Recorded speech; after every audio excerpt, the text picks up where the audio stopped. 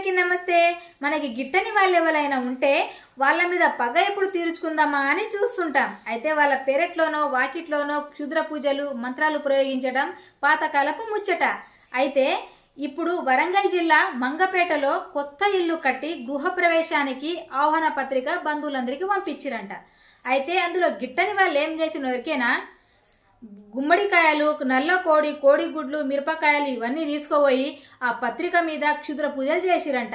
అట్లా చేసి ఆ కుటుంబం మీద ఉన్న అక్కసును తీర్చుకున్నారంట. అదేందో మీరే చూడురు ఒకపారి. మంగపేట ఊర్లో ఓ దంపతులు కొత్త ఇల్లు కట్టించుకున్నారంట.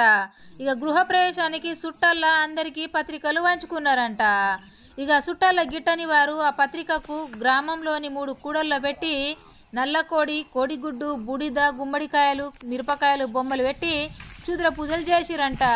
ఇక గిట్ల చేసి వాళ్ళ అక్కసును మాత్రం వెలగక్కారంట చూడురు ఎంత విచిత్రము అని ఊరోళ్ళంతా ముక్కు మీద వేలేసుకున్నారంట చూడురు ఇక మీరే. వారిపై మంత్రాలు ప్రయోగం చేయడం పాతకాలపు ముచ్చటనాయే అవే పూజలు నేడు కొత్త పుంతలు తొక్కుతున్నాయి. చేదాస్తం నెత్తికెక్కిన వారు తమకు గిట్టని బంధులతో గిట్లనే చేస్తుంటారన్నమాట.